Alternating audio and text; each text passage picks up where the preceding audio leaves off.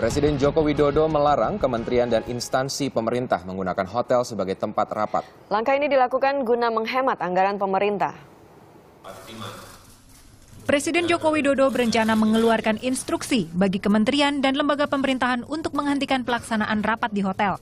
Selain bisa mengoptimalkan fungsi gedung atau fasilitas pemerintahan yang ada, langkah ini diyakini mampu menghemat anggaran negara hingga satu triliun rupiah. Yang saya bilang ada komitmen sampai satu triliun, itu salah satunya itu mengurangi pertemuan-pertemuan di luar kantor, intinya itu atau di luar kota. ya.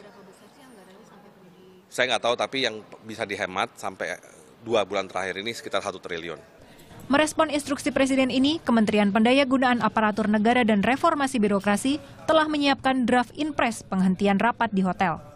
Penyelenggaraan pemerintahan sebagaimana instruksi Bapak Wakil Presiden dan Presiden dilakukan dengan menggunakan fasilitas-fasilitas pemerintah yang ada. Sejumlah kementerian menyatakan siap menjalankan instruksi Presiden terkait larangan mengadakan rapat di hotel. Cara ngelihatnya jangan persoalan kecil atau besar. Kecil tapi e, kalau yang kecil-kecil setiap yang kecil diabaikan maka ya akumulasi itu berarti kita abaikan. Yang di, toh pada akhirnya adalah akumulasinya lebih penting.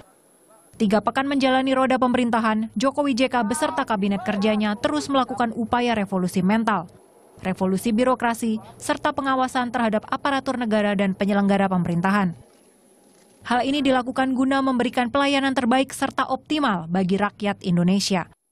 Tim Liputan melaporkan untuk NET.